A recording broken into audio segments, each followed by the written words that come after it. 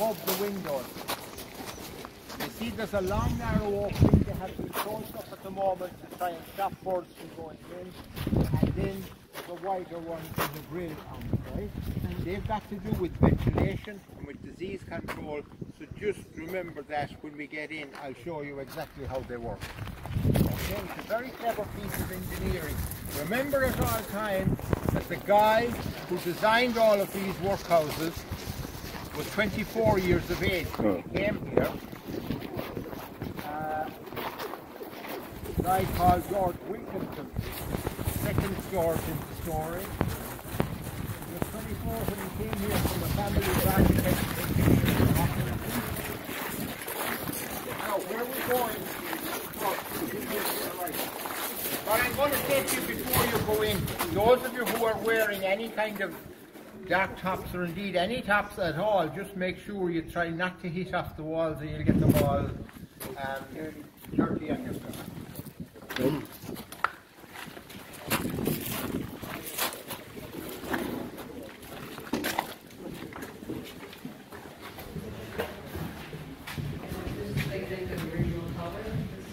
Yeah, this, this was the matron's office. That's why it's so bright. This is why there's a bit of colour. This is why there's a bit of colour on it as well. Yeah. Yeah, just though, I say of your clothes because that that stuff is. That was the matron, generally someone who was sent here by the British. Well, all the staff would have been hired by the, the Board of Guardians. It was a whole British institution. The Board of Guardians were, you see, the, the local landlord had to pay a tax for each person here, a land tax. But it suited him to get unproductive tenants off his land, ah. pay the small tax here per head, and then put cattle on his land. Cattle were worth more mm-hmm. to the landlord than unproductive tenants. Just think of that. Still the same. Maybe. Maybe. Anyway, are we all in? Right. Come on ahead. You're gonna keep walking, keep coming in, don't What I stand in want the to doorway. say to you is that where you are now was the matron's office. Mm-hmm. And when I say a matron, today it conjures up images of highly qualified nurse in a hospital situation, etc. In those days, we're talking just about a strong woman who was able to keep control. Because we're talking back to the 1890s and beforehand, the 1840s, 1850s, when medicines as we know them today really didn't exist. Mm. If somebody got a cold, a flu, or a sniffle, you kind of kept them hydrated.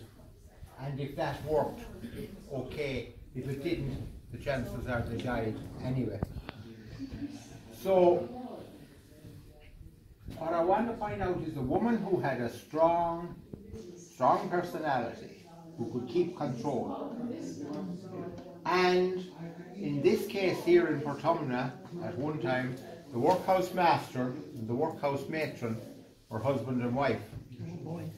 But things mustn't have been going too good between them because he was living over there and she was living here. this was her office and that was her bedroom. You can see, for want of a better word, she has the trappings of luxury and that there's a bit of colour on the wall. But one of the things in the fire and the timber floor, but just keep an eye, she had that control over the women. That was the women's yard, this was the girls' yard. Remember I told you they were separated. Mm-hmm. Most likely never to see each other again. Children under two could have stayed with their mother. But up to two, after two, you were a girl over here and a boy over the other side. Anyway, at two years of age, if you're taken from your mother, and the chances are within a couple of weeks, you'll have forgotten what she would look like. Probably have forgotten the fact that you had a mother at all. That's the cruelty and the hard reality. But in case that they would ever get a chance to see each other, sorry. Here again, the cruelty is built into the design. And the same on that side, she can pull the shutters so that she has a good look and maybe a couch at one side and you the same at the other, they won't be able to see each other again. It's just, you know, it's, it's the hard cruelty with which these places were run. It was a form of control. As I said, they were run almost on the same principle as a prison, except your only crime is being poor, being destitute, and not able to pay your rent.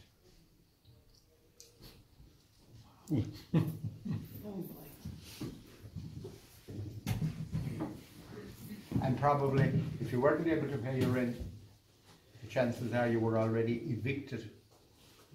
Because they send in bailiffs, send in the old policemen and maybe the military, and out you go. And what they do is the little bohan or cabin that you be lived in, it would be just maybe a mud hut with a thatched roof or maybe a bit of stone with a thatched roof, an open fireplace, and that's about all. Chances are that would be just flattened in case anybody else would go into it or in case during the following night you go back in and try and sleep. So your only hope of actually surviving was to come in here. Now all of you look reasonably fit, no more than myself, although I don't feel fit all the time. To walk 20 or 30 miles in your present state to here, you probably do it okay. Can you imagine trying to walk 20 or 30 miles, maybe in winter time, maybe freezing conditions, and carry maybe a child with you who has no shoes, and you try and do that with an empty stomach, and maybe for weeks before that, the stomach has been empty, and mm-hmm. those along the route are afraid to help you because if they're seen to help you and you've already been evicted, out they go as well, they're evicted as well. That's the harsh reality of the system. So, luckily, if you made it here alive, okay, conditions were bad, but there was a hope of staying alive. Right? Hmm. This of the well, there's one, two, three, four, same on top, women's dormitories. In other words, where the women over eighteen, over sixteen would have slept. And okay, first thing kids will say, oh, this is where the beds were. Uh-uh, these are the beds. Just a sleeping platform, they're basically jute bag packed with straw, that's your bed. When you came in here, you always have to, to, to keep this term in your head. It's people refer to them as poorhouses. They were. But the more correct term is workhouse. When you came in here, you worked. Your bite to eat, place to lie down, and your uniform that you were given to wear. Right? Probably it's like it's almost today like a modern cattle chase. Head, tail, head, tail. In this case it was head, feet, head, feet, and this channel in the middle. And basically, the closer together huddles you be, the warmer may.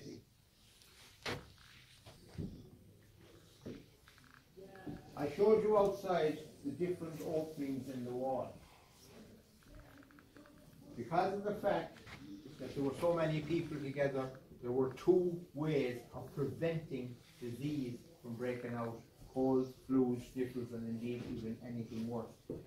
One, these holes outside in the wall, if you look along there, if you're metric, about every 20 centimetres, if you're imperial, about every foot apart, there's a little half inch hole.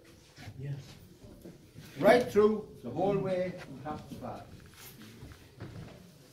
In the, in the outside, the long narrow opening, cold air, winter and summer, came in through there. Right? Came in and came in through all of those holes here. So, that cold air was fresh air. Came in, and as it was used, it rose up, of course, and it went out through those wider openings that you see outside of the bridge now. A very clever piece of engineering again for its time.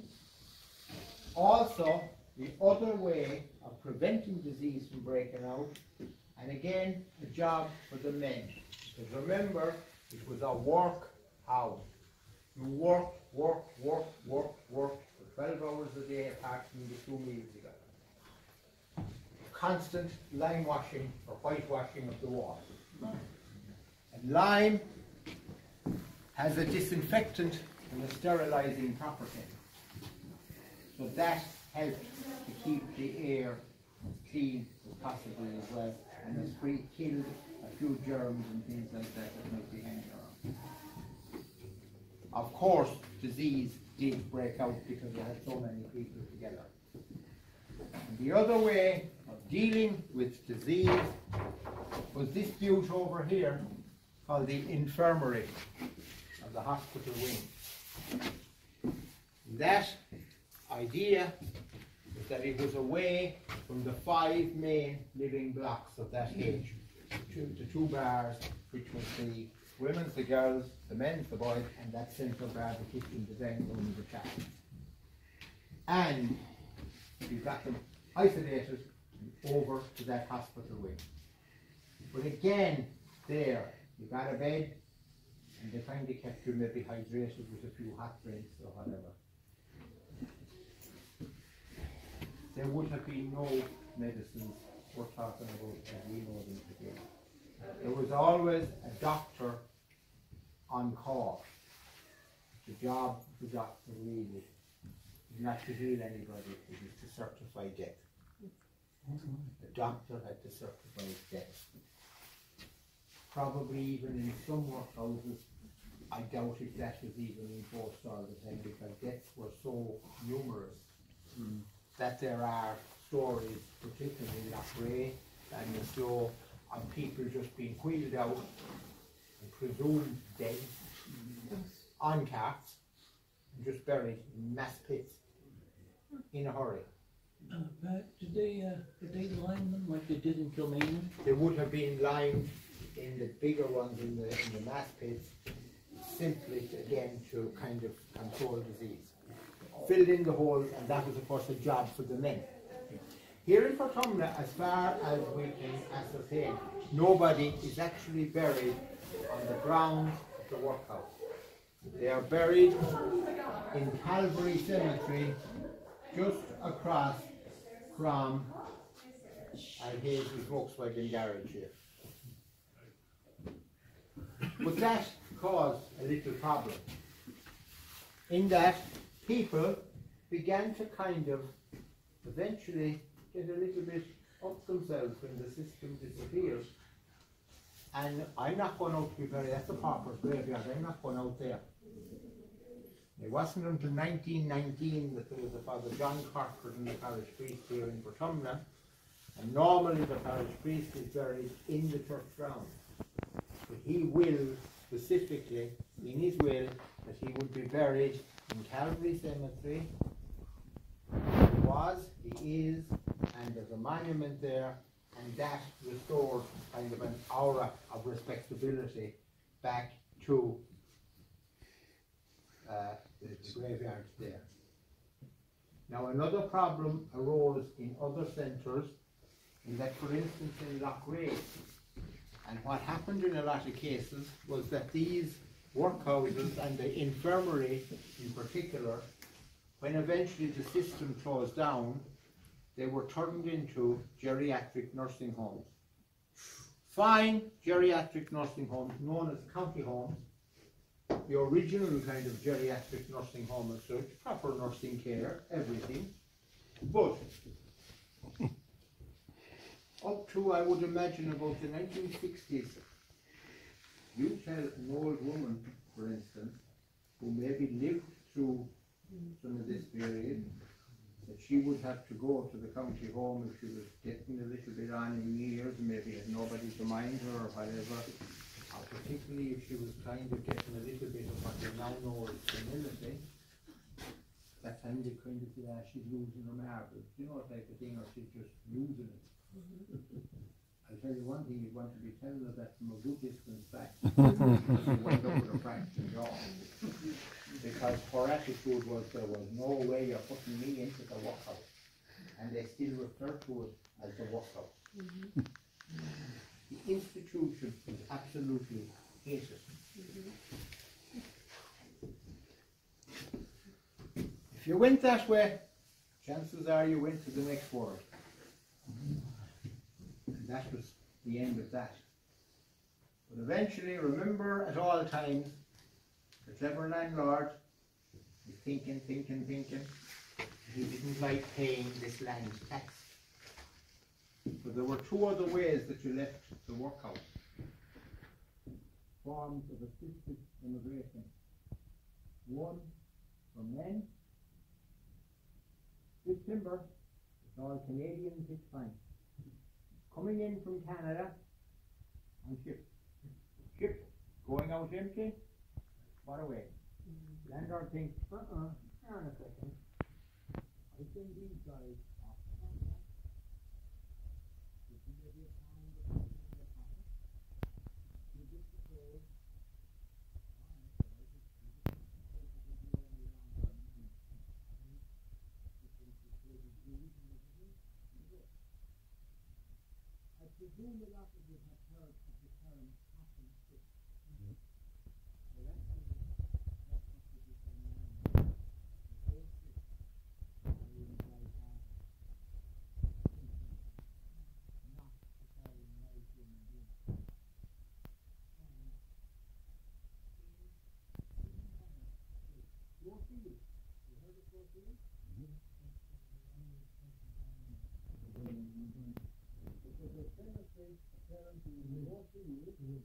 which has Irish people buried there. That's true. And it was during the, the reign here of one of our Marys.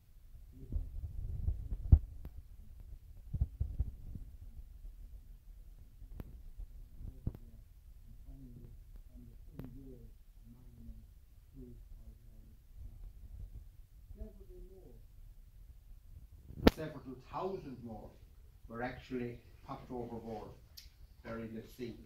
In order again to prevent contamination so that they just wouldn't affect the live ones arriving, right?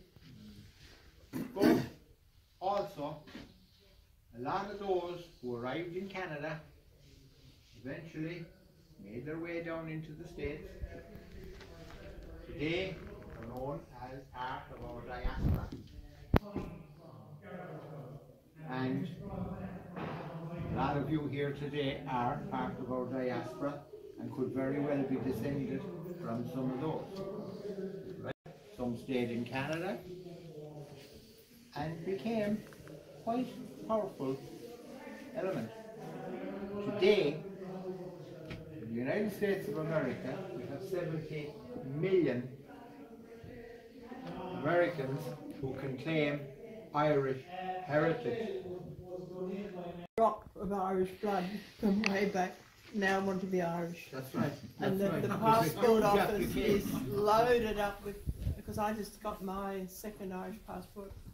And yeah, it was to be eight weeks. And only the fact that I somehow managed to get through to the passport office in Dublin from Australia. I, I got it in time. I mean, of course, I got my Australian passport. Yeah. But my cousin told me, forget it. The uh, Dublin passport office is just overloaded with the British trying to become Irish, and he was having a big laugh Should about that. to the bottom of the list. What I say to people is, and I, I kind of tell the story Tell them I have around room for them here, here. yeah, that if you think of it, out of all of that misery, out of all of that basically forced immigration, out of all of that immigration through desperation, look at us today. Kennedy in sixty-three, I spoke about last night, first Irish Catholic president, well, I think he may not have been the first Irish president if you go back to American history, or president of Irish descent. But look at it, since then, we almost own the White House. We were built it. Nixon, We built it. Reagan, Clinton, Obama. Even though Barack Obama is as black as the top you, you're wearing, one eighth of his heritage is Irish from 25 miles out the road here, 25 minutes drive out the road here in a place called Shinrone. Henry Healy is his eighth cousin, we call him Henry the Eighth.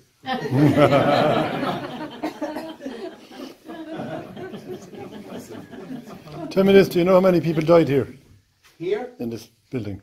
I don't know the exact figure, but quite a lot did. Hmm. Quite a lot did. Because they kept great records, didn't they? No, yes, the problem with the records for Portumna, is the hmm. records for Portumna are one of the few records that are missing off the face of the earth. Hmm. There's two possible reasons for that. Either they're in somebody's attic and nobody knows they're there, or another thing, somebody may have had somebody in their family line and decided, Jesus, get rid of them, I don't want to ever know that anybody belonging to us was in the workhouse. And they could have actually destroyed it. So the, the matron and those in control, were they British or Irish or? Uh, they would have been, Well, they would have been appointed by the British and by the Board of Guardians, they probably would be Irish. You see, you needed very few formal staff. Because of the fact that it was a workhouse, the work was done from inside the workhouse itself. They had a workhouse master, a workhouse matron, a clerk, a porter, um, a teacher for the boys, a teacher for the girls. You had a doctor on call, and you had two chaplains, one a Protestant minister and one a Catholic priest. Because believe it or not, when I started here first as a guide, I was thinking, Jesus, no, the idea of a Protestant pauper, that couldn't possibly work. And it was. And in a lot of cases, I found that there were old policemen and soldiers who kind of were almost thrown in the scrap heap when they came to the end of their service. They were no longer of use to anybody. In a lot of cases, they didn't marry. In a lot of cases, if they did, the wife was probably long gone, or dead maybe. And a lot of them took to drink and things like that and winded up almost on what you kind of call the scrap heap of life. A lot of people who worked in these places died in them from the diseases. They would have. They did, I know that, have. they did, yeah. They would have. Doctors and nurses and everybody. Uh, they would because even the doctors and nurses wouldn't have had medication or things like that. There was no medication. time. Was there any record of anybody actually up and leaving on their own, free will out of here? You see, you could. You were free to leave at any time. But what were you going to leave from? Certain steps. You were going out. You see, the idea of these here was to keep the body alive, but not the spirit. Mm. And I'll tell you now, somebody asked me earlier on, who asked me about the diet? What the diet was, right. Adults are two meals per day. You got eight ounces of stirabout and a pint of milk in the morning. Stirabout, does anybody like porridge? It's porridge. Mm. Porridge. Milk, or I'm talking about, sorry, water and meal boiled in big uh, pots, mm. cast iron pots, and so thin a consistency you didn't even need a spoon and a plate. You just put your mug in and you drank your two mugs was about a half pint each. Two mugs was a pint. That was for the men, and that's what you had to work on for the day. Except in the evening, they got three and a half pounds of potatoes boiled for your dinner and a pint of skimmed milk. No meat, no veg, no protein, no vitamins, no nothing. Just enough to keep the body alive, but not the spirit. Right? You got three and a half pounds of potatoes is quite a lot of potatoes. Just popped out, no need for plates, just pop them out, boiled on in jackets on the table, you peel them, you eat them, and you drink your milk.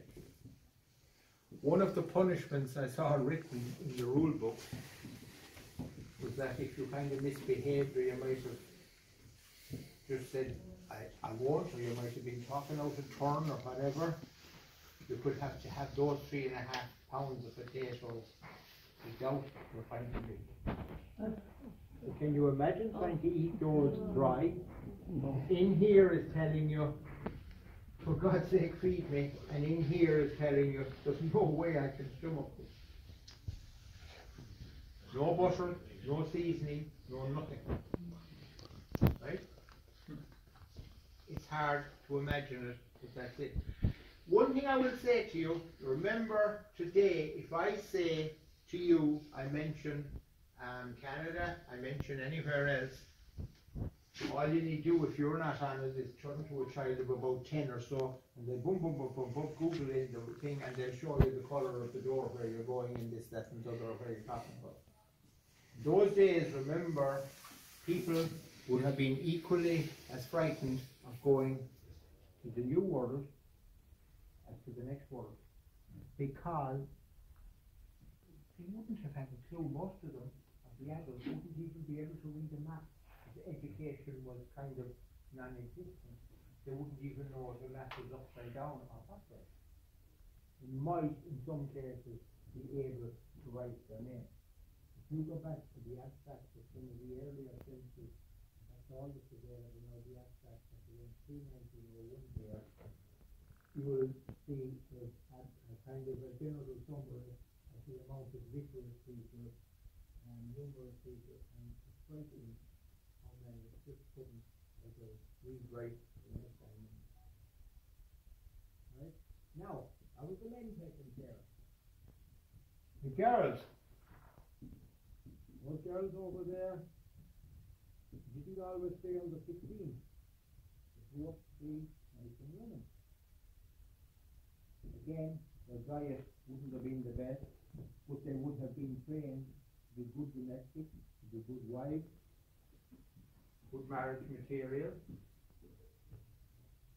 And have any of you, I'm sure you've all heard of Earl Grey tea. Right. Earl Grey tea gets its name from Viscount Howick of the third Earl Grey, who was importing tea from China into ships, uh, into Britain and into Ireland. Those ships were going out empty. Four months for Australia. Steamships and sailing ships. And several landlords finds out that Australia is populated by something like eight men every one woman. So they need breeding stock in the horse for of a better word. They need to